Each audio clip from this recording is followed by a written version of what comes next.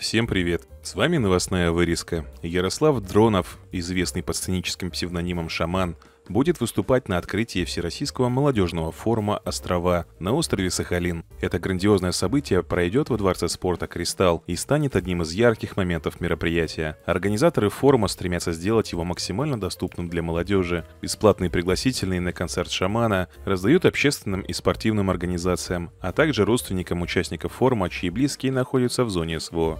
Музыкант принял свой сценический псевдоним «Шаман» в 2020 году и стал известен публике в 2022, когда его клип на песню «Я русский» набрал миллион просмотров на YouTube за первые сутки.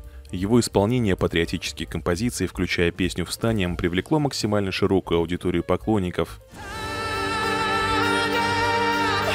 Форум «Острова», который стартует 8 августа в Южно-Сахалинске, соберет около 500 молодых людей из разных регионов России. Участники будут обучаться и взаимодействовать в шести функциональных направлениях, обмениваться опытом и идеями, принимать участие в мастер-классах и круглых столах, а также создавать новые проекты и инициативы. Организаторы также представили официальный мерч форума «Острова», в котором определены 7 цветов, символизирующих различные направления, представленные в рамках мероприятия.